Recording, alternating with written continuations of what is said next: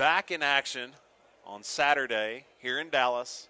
We're going to welcome in the ABCA third vice president, head coach of the University of Louisville, Dan McDonnell. Mac, thanks for joining me. Thank you, Sheets. Glad to be here. It's awesome to have you. Now, interesting look, and only the camera would see this. If you're listening to the podcast, you don't know this, but he is head to toe, pinstriped up. Uni just came off the stage. Can you talk about your clinic you just got done?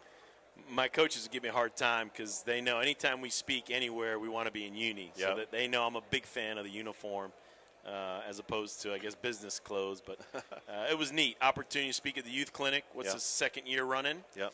And um, man, that's that's the future of the game. No doubt. And I was just really psyched to try to pour into uh, young coaches, men and women, coaching, you know, five, eight, 10, 12 year olds, and trying to encourage them, give them some tips as to hopefully help these kids love the game, grow in the game, Yeah. get hooked on the game, and and then we ended it with some drills and you know Sure. some some throwing drills, a little competition, a little base running, but it was it was more of a philosophical. Hey man, you're in a powerful position as a coach, and Right. we need you to help these kids grow and love this game, and and it only helps us. It's awesome. You know, obviously you're you're hyper focused on your program, and uh, we can go into the accolades of what you've done at the University Louisville, which we'll get back to.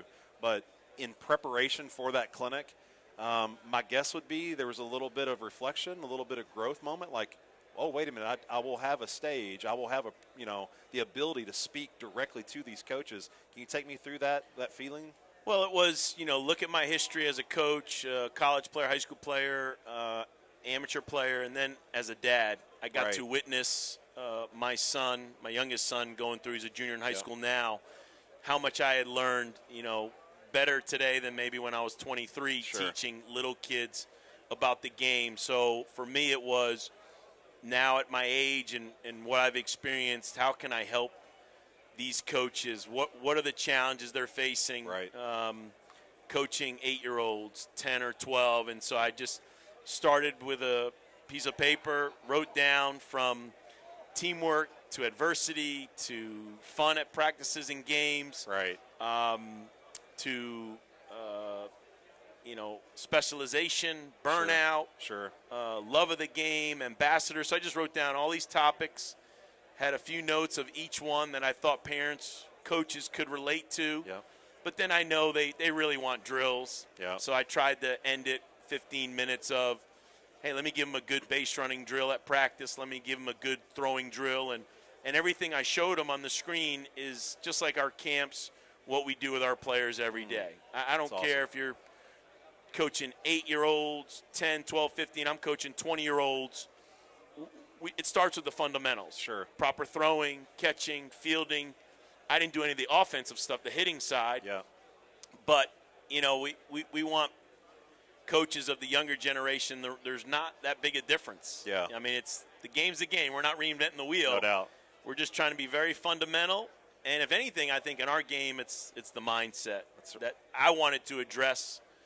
What are we doing up here? Where are we in our hearts? Yeah. How are we helping the game grow? That's so good. It's gave him some perspective, gave him some takeaways, trying to make them better coaches. Is pretty awesome. Yeah, I mean, it's we all want to win. Uh, I'm sure that they coach because they love the game, and, Yeah. and let's face it, we're competitive. We want to win, but man, at that young age, th- those kids, um, you know, most important, we want them to to grow in the game and love the game. Right. I mean, if they're going to stay in this game of baseball, they're going to want to aspire to be a high school player, or Sure. college player, or professional player.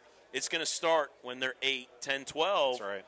And it's a challenge. You know, there's, there's competition with other sports. There's a lot of uh, media, social media distractions. No doubt. You know, how do we run our practices? What are we emphasizing in the games? Yeah. How do we handle failure? What do we do when we lose? Um, where have we made mistakes? We've all made mistakes with young kids. It's okay. Address it. Yeah. And what I didn't talk about enough of on the main stage, and I did in the side room, I had a lot of, I had a lot of questions about parents. Of course. Yes. You know, and it, it's you know, for me, 18 to 22 year olds, I, I have a relationship. These kids are mature enough. I deal with them, um, but at that youth age, you got to deal with the parents. That's right. And so you have to really coach up parents. You have to go over guidelines, and these are the team rules. This is what we're trying to accomplish. Even from a simple rule of if you're a parent and you're frustrated after the game's not a best time to talk about. it. Timing's everything. Yeah, I- let, let, let's have a rule where let's cool off, let's go home, let's Yeah. set up a, let's have coffee tomorrow morning or lunch or Right. something. Let- Let's talk over the phone, but let's not talk after a game Yeah. in a ballpark setting with your kid there and parents there. And Yeah. so there were things I, I got to speak about in the side room that I didn't even share on the big stage. Sure. Oh wow. Um, you know, this is a prelude to our conversation here in a few weeks. So if you're listening to this again, convention uh, post wrap up recap episode, you'll be hearing from Dan here in a week or so. Get him on the full podcast. So I don't want to go into too much, but you know, from uh, you you know how much this hurts me as a member of Big Blue Nation to stare at this cardinal head. But what I love is that man, and you know, we've talked about this, man. I respect and admire what you've built there at Louisville, and, and I know the the history of that program. Growing up an hour away, what you've been able to do since stepping on campus and and really growing it into something special. I just think for guys standing here listening, can you talk about maybe the the uh, what you thought was important there that first year in 07 and then building up in terms of the culture and what it feels like and tastes like inside your program Yeah, well, I mean, first, when we talk about the rivalry, I love the rivalry. There's a lot of respect. You know, one of my great Yeah. friends is Coach Keith Madison. Yeah. So that, for me, was an, I say, an easy transition into be mature about this rivalry. Sure. Let the fans get all hyped up and excited As they do. Yeah, Yeah. And, and I love it. That's what we love. That, Yeah. That's why four or five thousand come out when we play each other Every time. Um, but you know, for for me, with inside the program, you said the word culture. It's the sexy word in athletics. Mm. It is. Um, it starts with the student athletes. Uh, for me, it was let's pour into them. Uh, you know, I think a lot of us we, we get these jobs because we're recruiters, and the fear is sometimes, well, he's going to recruit his own kids. sure And no, I, I wanted to make sure that first group that we inherited, and we inherited a great group from Yeah. Lelo Prado. Uh, let's let's help these kids. This is their time, their experience, and I say it every year, and it it's so true. They have a small window, three or four years. right It's not about me. I, I hope I've been coaching 27 years. I, I hope to coach maybe another 27. You know, whatever. But they have a small window. It's about them. sure You have to make it about them. The FCA breakfast this morning, Coach Deggs was awesome. He said some real things that hit you right in the chest. You No know, doubt. like it's it's about these players, and, and these players, we need them more so than they even need us. And Mm. Yeah. and how much we love this game, and we love to, you know, we don't really call this work. We Right. love our job. If you call it a job, uh, so pour into the kids, let them know you're here for them. Then get them to work their tail off Yep. and get them to believe. We talked about the mental side. Mm-hmm. And so that first year was let's just get to a regional and let's, uh, this is how you get to a regional. And they were talented. They bought in. And, you know, when you get to a regional, anything can happen. No doubt. And we had that magical run to Omaha.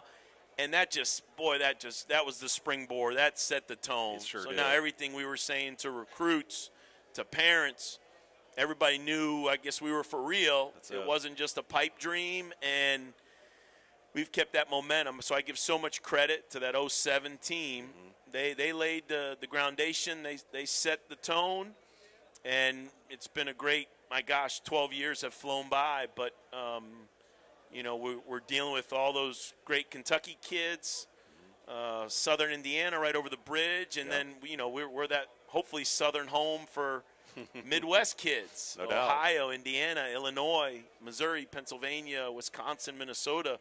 You know, we always say we're not Miami, but we're in the South. close. Yeah, you know, we're in the South. Kentucky's a southern state, so that's right come south, and uh, if this is what you want, uh, out of your experience, this is who we are, and, and so we we've been successful academically. We preach the degree. We've been successful in player development. Um, let's face it, that's what kids want. No they doubt. want to get better, and then we preach team success. If you know playing in the regionals or going to Omaha or winning a national championship is something you want to aspire, try to achieve as a player, we think we think our program's a good fit for you. No doubt. Well, it's obvious. You mentioned right in the middle of that, uh, coming in with a mindset that this is about the players. It's about this team. Uh, honestly, I think you did as good a job as anybody as wrapping your arms around that first group. And again, being privy to more information than most, man, being great friends with Aaron Gershenfeld and Skylar Meade and those guys, and getting the behind the curtain view of, of what was going on, and obviously what's transpired since. Um, I want to go back to that, and it's probably something we'll talk about more in depth on the podcast. Is just that um, the mindset of being transformational and relational, and I know it's a huge piece. The kids are at your house, you know, periodically throughout the year, and that's a big piece of, of the integration of your family into the program. Has that always been there? Is that something that you matured and morphed into, as most coaches do? You know, Yeah, I spent 12 years at a military college at the Citadel, so Yeah. you, you, you had to learn how to connect. You had to you had to love on kids and let kids had to trust you if they were going to go to a military school. No they doubt. had to trust you. I spent six years with Mike Bianco uh, at Ole Miss, and, and you know he calls it the Skip Bertman system. yeah, Uh, what a blessing! Yeah. I got I got inside information, you know, as to the blueprint. that's right. And I took that system uh, to Louisville. And, you know, for me as a Christian, you know, what's at the premise of our belief? Love. That's it. You got to love. And just love on these kids. You know, the, the one thing you love about baseball players, I know you can't fool them.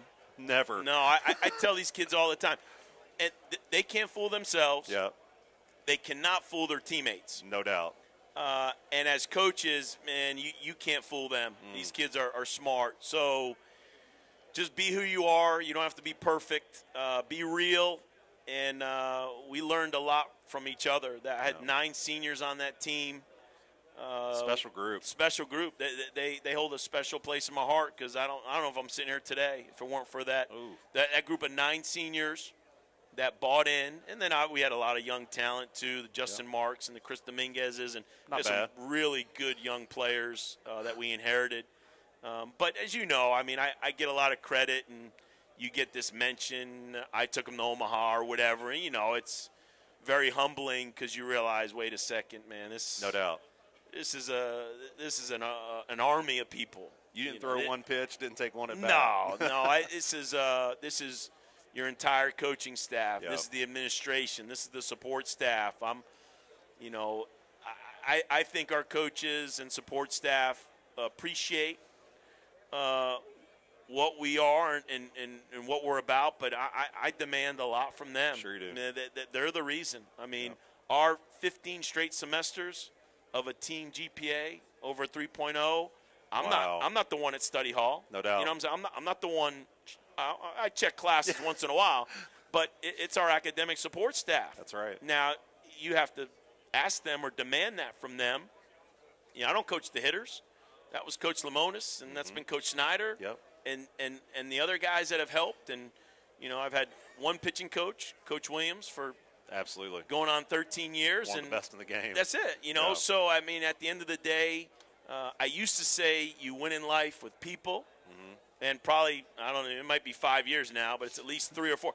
You win in life with the right people, there you go. and I think that's the key to success. If you talk about culture, you got to surround yourself with the right people. Right. You can't do this by yourself. I, we're in an age of head coach responsibility, Yeah. and I get it, and uh, CEO responsibility, and we got to be able to point the finger to somebody. That's right.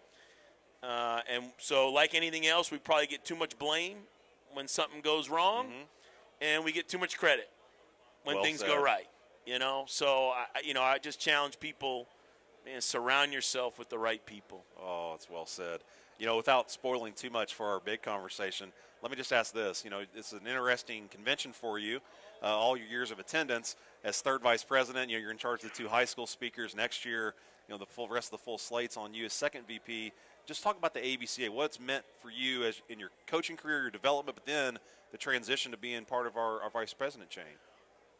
You come from the Hall of Fame banquet last night, and you get to listen to the seven inductees, and you get to hear their story and their history. And Right.